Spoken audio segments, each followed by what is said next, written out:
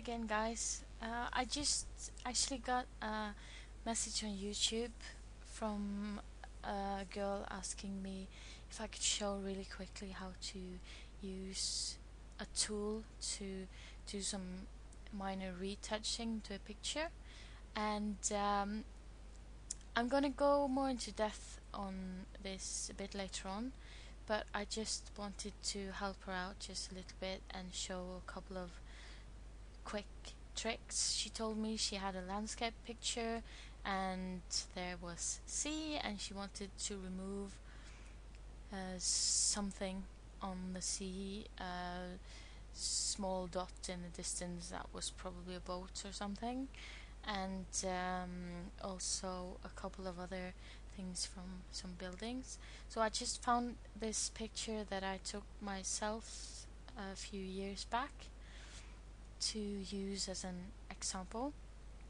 And starting off with retouching your pictures, there's one tool that I think you should start with, and that's the spot healing brush tool. I'm just quickly going to uh, make a new layer here first and I'm just going to go into levels I'm going to show you a bit more about levels later on but I think it's a bit too bright the image so I'm just going to change it a little bit. I'll explain in a, a later tutorial what I'm doing. So just to make it look a bit better. Before and after I think that looks pretty cool compared to the original one. So I just did that and I'm just going to make another layer again to do the actual retouching. So I'm just going to call this one levels. And call this one retouch. Retouching like that. It's a good idea I think to name your layers just to know what you're doing in case you want to go back and uh, change something in one of the layers or just see what it looked like along the way especially when you're new to Photoshop and trying to learn things it can be a good idea to to go back and see what you've done. So anyway um, like I said the spot healing brush tool you find it up here. There are several tools here and the first one the spot healing brush tool is the easiest one in my opinion. And like I said the one you probably want to start off with when you're doing small changes or just removing small things. So I'm choosing that one. Choose my retouching layer. And I want to remove this boat over here. Just gonna zoom in a little bit more. And you want to resize the brush so it shouldn't be too big and it shouldn't be too small obviously. So you just want something that covers the area pretty well like that. And what the spot healing brush tool does is that it takes the pixels around your brush and sort of fills inside your brush with them.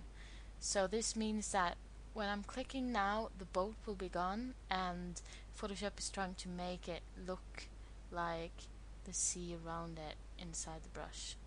So just move over here and I just click once. It looks pretty good. You can still see there's some weird things going on there. So I'm just gonna click a couple of more times like this and that looks pretty good this is what it looked like with the boat and this is without the boat. So for now that's that's pretty good result I think. Um, yes and let's see if we can find something else to remove here. Gonna remove some of the snow up here. Again I'm gonna change my brush size a bit. Like that. I'm just clicking. And you may want to, you know, resize your brush or click a couple of times to make sure that uh, Photoshop doesn't take the pixels like from the place where you don't want it to. So just clicking a bit. Trying to have it look as, as natural as possible. You can also click and like draw a line like that. Sometimes it works sometimes it doesn't so just clicking around a couple of times.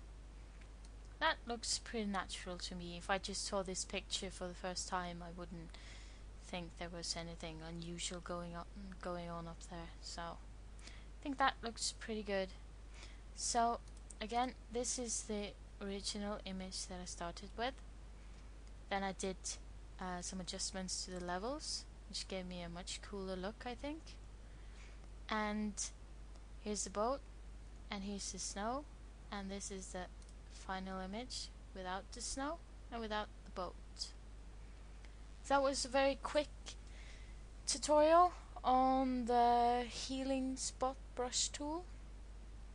I'm gonna go uh, more into depth on this later on and show you a couple of really cool things to do with several of those retouching tools and such but this was just a quick little help for uh, Andrea from Sweden I think.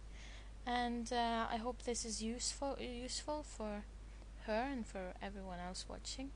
And I'll see you again very soon. Thanks for for watching. Bye